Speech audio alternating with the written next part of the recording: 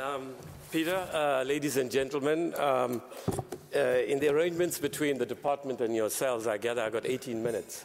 But, uh, you know, uh, I see the time has panned out slightly differently, so I'm not sure how much of time I've got. But please don't hesitate to uh, say, hey, your time's up. I think you had a news bulletin shortly and so on. And no doubt what I would have otherwise have said in my formal input uh, will be taken up in question time. So please tell me when I've got three minutes left. Uh, firstly, I should like to say that uh, in the interests of openness and transparency, uh, which is a term uh, politicians like to use and often don't mean, uh, I, you must remember that I represent the government as the shareholder of SABC, so I insisted to Mrs. Uh, Zandile Shabalala that she says that I look very smart with makeup.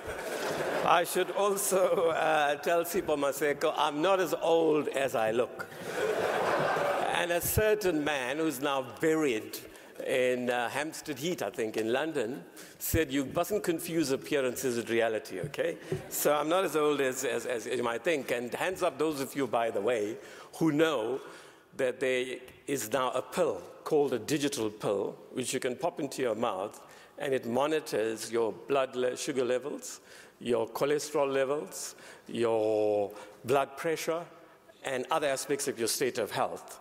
And it can communicate it directly to your cell phone by SMS or your email on your computer, and more importantly, to your surgeon or your doctor, uh, at least the receptionist. And you can be hauled in and said, hey, you're not observing your diet, and whatever. Or worse, your partner, your spouse, might also access this information and sort you out for not exercising or observing your diet or smoking too much and so on.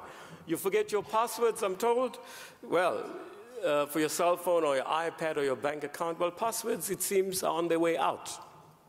Your fingerprint scanning processes are very advanced now. I'm told you can also access your bank accounts and your cell phone and so on simply by scanning with your eye uh, over a cell phone, and for that matter. And, and in fact, the, the veins, I mean, others like uh, uh, Mr. Kruger here and those who are experts in this area in the department will tell you that the veins in, your, in the whites of your eye are enough to actually access. Uh, and I saw yesterday, on the recommendation of somebody who was bouncing things off in preparation for what I say today, it's in popular mechanics this month. Aren't you impressed that I read these things? What did I even know about popular mechanics uh, uh, two months, two and a half months ago? But it says actually that you could even uh, have access soon enough uh, by singing a song in your head, and the brain, magnetic waves will open your bank account. Now, look, that's, that's where we're going.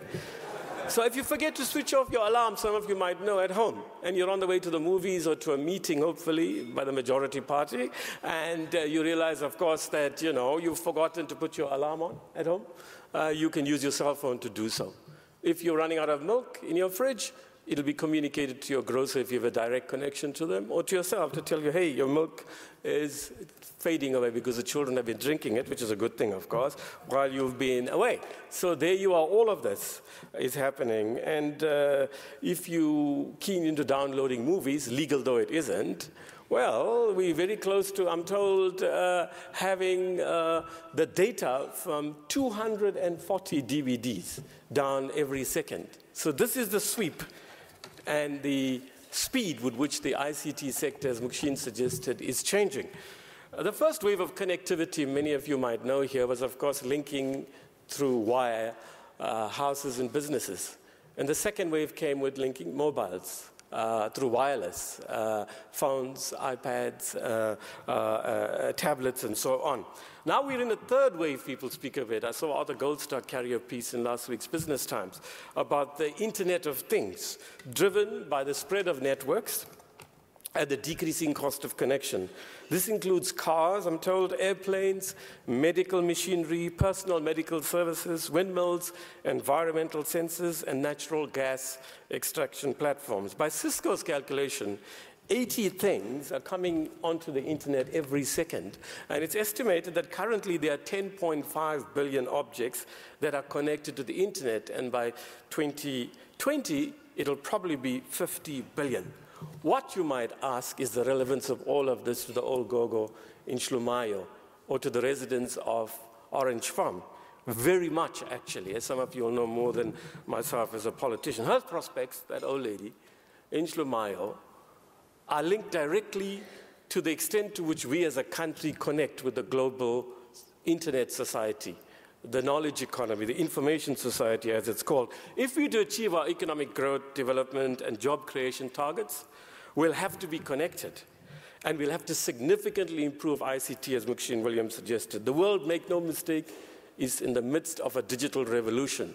We had the agrarian revolution, the industrial revolution, and similar in magnitude, though far greater in speed, is the current digital revolution. Today, as technology continues to change the world we interact, to be left out is to be outside the world. Uh, either we take part in this revolution or we're going to be swept aside, the digital divide that Muhsin spoke about. So this, this revolution, digital revolution, is transforming the nature of our society and its very fabric in the way the agrarian and industrial revolutions did. So ICTs, as you may know, are powerful tools for economic and social growth. Uh, the World Bank speaks of a 10% increase in broadband. In other words, to put it crudely for those outside uh, who might be observing this, uh, viewing this, uh, it's high-speed internet connection, okay? 10% growth and that leads to possibly a 1.38% growth in GDP in developing societies. So these wonders of technology may be open to many of us here, but the reality is it's not to the significant chunk of our population. And that is the challenge we have today, US business and civil society and ourselves as government, working together to ensure that this digital revolution benefits the haves and the have-nots equitably. It's not just a digital divide between the countries of the South and the North. It's also very crucially, already we have far too many social and economic inequalities in our society, as much as we've made significant progress since April 1994. And we cannot allow this digital revolution to reinforce those divides. It serves neither the interests of the poor nor the interests of those who are the haves, as most of us here are. Now, the growth of the digital economy in South Africa is significant, even if it doesn't benefit the population equitably. Currently, it stands at approximately 2% of GDP. Agriculture is 2.1%. E-commerce is growing at 30% a year, and the potential for expansion is quite significant. Currently, we know there are 410,000 SMEs in South Africa which have websites, and it's noted that those that do are strongly profitable, while those that don't are not. It is said that the SMEs account for 7.8 million jobs in South Africa, and it's suggested that 1.56 million jobs would be in jeopardy were it not for online presence. So what are we as, as, as, as, as, DOC doing? Firstly, you can look on our website, and you've heard this, Peter, and you can fall asleep now. I think I have said this in your presence about three times. Essentially, we have a strategy and program. The strategy has six interrelated parts. Firstly, whatever we do now is within the context of the NDP, as contested as parts of it are, the new growth part, and the ANC's Mangaung policy resolution. Secondly, we need a more stable, effective department. Jobs have been advertised for three DDGs and CFOs. I hope some of you have applied. We need your skills, and we're going to finalize that within the next month. Thirdly, we're talking about a less fractious, though it's a highly competitive, fiercely competitive sector, ICT sector. Fourthly, we choose selectively what we do between now and April to actually uh, uh, set realistic and realizable goals. Fifthly, it's strategically chosen so that we set the foundation for much faster delivery over the next five years, 2014 to 2019. And finally, the ICT policy review, which I'll focus on in a moment. So what are the aspects of the program then? Point three of our six-part strategy. One, broadband policy strategy and plan. Two, develop an effective spectrum policy. Three, further reduce the cost to communicate. Those of you getting nervous from the mobile operators, of course we're going to take your needs and interests into account. We want investment in this country. We don't want you to flee. We have to also take into account the interests of the consumers, Fourthly, beginning the rollout of digital migration, know there'll be questions about that. Greater focus on the rural and other underserviced areas. Sixthly, towards greater stability of the SOCs, particularly the South African Post Office and the SABC. Seventhly, cooperation of the Post Bank, which is quite crucial. Eighthly, the ICT policy review. Ninthly, a national ICT forum sometime early in the new year, launched hopefully by the President, and a community media policy, tenth, tenthly, if there's such a word, uh, uh, by the end of the financial year. On On the ICT policy review, some of you are on the panel. It represents the range of interests in the ICT sector, not least different government departments. The review is looking at telecommunications, broadcasting, postal policy, e-commerce, and infrastructure. And the market we see in the work done already has changed substantially since 1994. I'll skip the statistics. Many of you know it very well, but I'll point out, for example, that since 1994, the telecommunications sector has grown from 8.2 billion to 157 billion in 2012. The postal market is now worth 10 billion. In 1994, it was 4 billion. Right. Now, there are only, of course, 800,000 ADSL lines in the whole country, meaning most South Africans do not have internet access in a wired way, which raises issues about broadband.